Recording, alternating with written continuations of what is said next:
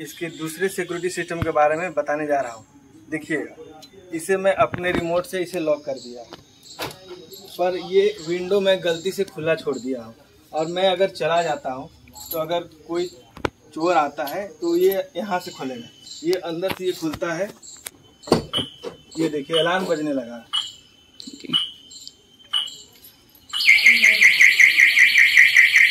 Video आपको पसंद आए तो लाइक करें।